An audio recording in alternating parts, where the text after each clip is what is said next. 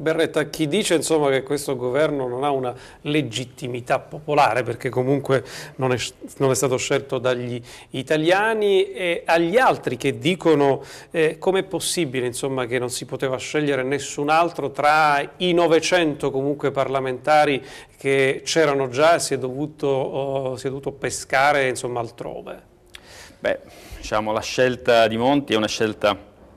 frutto delle caratteristiche soggettive dell'uomo, una persona appunto sicuramente molto competente, ma fondamentalmente una persona che ha fatto una grande esperienza a livello europeo eh, ed è questa eh, diciamo, l'esigenza diciamo, prioritaria che noi abbiamo in questo momento, cioè rilanciare l'Europa, rilanciare un'Europa politica e riprendere all'interno dell'Europa politica lo spazio e il ruolo che l'Italia a causa delle incapacità di Berlusconi in questi anni ha perduto. Allora eh,